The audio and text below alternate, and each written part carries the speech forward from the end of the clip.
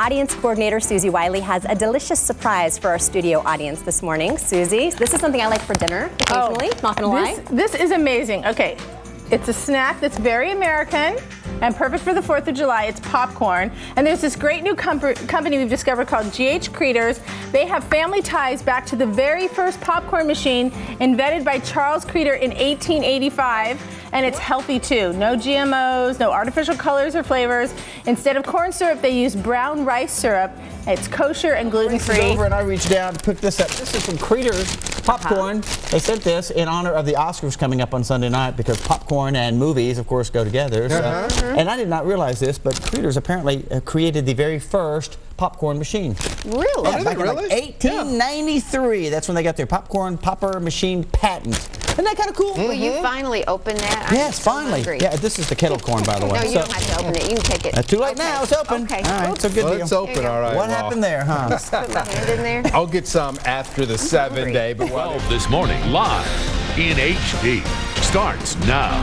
You know what goes great with watching the Oscars? Well, of course, popcorn goes great Sure. with movies and the Oscars. And when Charles Cretors invented the popcorn machine back in 1885, yeah, it's been that long, Wow. the creation took popcorn mainstream and helped catapult it to one of the best-selling snacks of all time. They've got a lineup that includes Chicago mix, That's caramel, that's what we cheddar, kettle corn, so on and so forth. I love this Chicago mix, though. I mean, it, it doesn't sound like it would be good because it's caramel and cheddar popcorn mixed together, but It's just it's It got that nice is. blend of the Yeah. sweet and, and salty. I will say this: the the, the pop, this popcorn. This is the second time that they've been so generous to send us some. But I mean, it's like the flavor on the popcorn is just uh, intensified. I've yeah, never. it doesn't taste like bagged I've popcorn. never had, yeah, bagged popcorn just has never tasted so good. So again, thanks to the folks over there at GH Cretors. So if you're going to be at home this weekend watching the Oscars, you need to pick up a couple of bags.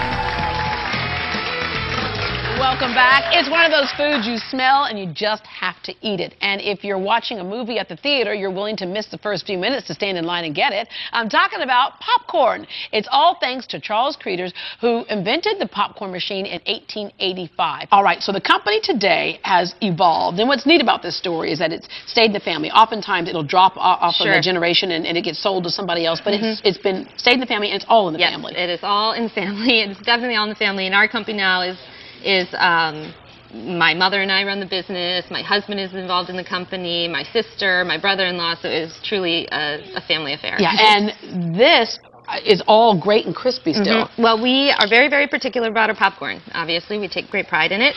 Um, all of our caramel corn is still popped in, uh, made in copper kettles the old-fashioned way.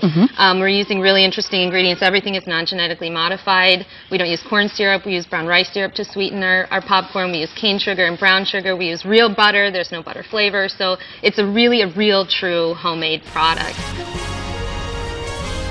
This is CBS 2 News. I think we're looking styling, but this is what you have to do when you go inside the industrial plants that make the food that we enjoy. Look at all this popcorn. We are here at GH Cretors, and I'm here with Claire Cretors. Your family making popcorn since your relatives invented it back in 1885. What's it like having that weight on your shoulders as you carry the tradition forward? No weight at all. It's really exciting. We're we're really proud of it. It's an it's an unusual thing. Okay, how much popcorn are you guys popping up each year? A few million pounds, maybe about three million pounds. Well, thank you for showing us how it's done today, too. Sure. Not so much a million pounds, but a No, little no, bit. a little okay, bit. so uh, this machine is really cool when it gets going. Go ahead and get it started for us. There So what exactly is it doing? So this popcorn is waiting for uh, a batch of caramel to be poured on top of it.